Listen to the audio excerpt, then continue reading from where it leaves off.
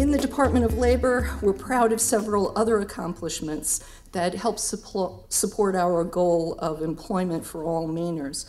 The first and probably the most significant achievement is the elimination of the wait list in the Division of Vocational Rehabilitation Services. I can't stress that strongly enough. When I became commissioner almost eight years ago, we were looking at a 12 month wait list for services for clients in the Division of Vocational Rehabilitation Services. Uh, Jill Duson came on as director of that bureau, and one of her primary goals was to reduce the wait list in spite of in, um, cost cutting that has happened over the past couple of years. Uh, they have pulled together a team focused on the ultimate goal, which is provide quality services to people. And as of October, there was no wait list for DVR services, and we're very proud of that. So thank you, Jill, and your team.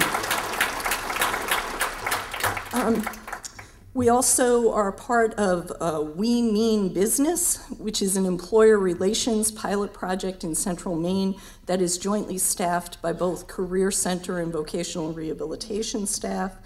And we at um, DOL have an updated uh, memorandum of understanding with the Department of Education to help us more effectively serve youth in transition from school to work. In spite of the things that we have done, and uh, Commissioner Harvey talked about being a model employer, one of the things that we did within the department in our uh, team award, recognition award this year went to a group of folks from our Bureau of Rehabilitation Services, our Bureau of Unemployment Insurance, and as well as the um, OIT staff, because we really believe that if you provide the appropriate um, supports and, um, and accommodations that even the most complex tasks can be made accessible for people with disabilities. And unemployment insurance, as I'm sure you've all heard, unemployment is up in Maine, um, not quite as high as it is in other states, where it's 7.7 compared to a national average of 9.5. But one of our challenges has been to be responsive to that. Providing unemployment insurance is an incredibly difficult task, very uh, technical, but the teams of vocational rehab and unemployment got together and we put together a program so that uh, people with uh, who are either um, blind or have low vision can actually perform those uh, tasks and use those screens. And we're using that model to go and do outreach to employers to demonstrate that this is something that uh, is definitely achievable. In spite of everything we have done, um, there are still some remaining uh, challenges, and especially in this economy. Uh, and one of the areas that we do want to focus on is making sure that people with disabilities have every opportunity as, uh, that any other Maine resident has.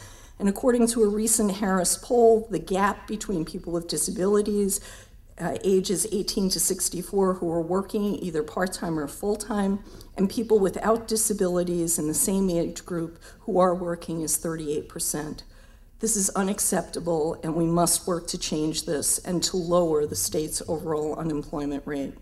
According to the same study, after a shortage of job openings, the main reason employers haven't hired more people with disabilities in the past three years is a perceived lack of qualified candidates. On a local level, we have heard through our employer relations pilot that several employers believe that many of their applicants lack the soft skills they view as critical to job success. These challenges we can face head on by continuing to work with our business partners and our colleagues at DHHS. We thank you for all of your hard work, and we look forward to continuing um, to successfully put all Mainers back to work. So thank you very, very much.